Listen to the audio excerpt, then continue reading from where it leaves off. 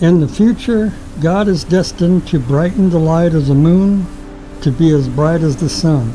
The light of the sun will be seven times brighter, as it is written. Moreover, the light of the moon shall be as light of the sun. Isaiah 30, 26. It is also written, Your sun shall no more set. It will have no deficiency, nor shall your moon be withdrawn.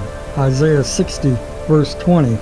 Rather, the night will also be illuminated, symbolizing the now constant level of unified consciousness. And it is further written, The sun shall be no more, your light by day, nor the moon brighten for you, but the Lord shall be an everlasting light to you, and your God your glory. Isaiah 60, verse 20. May this happen in our days soon. Amen.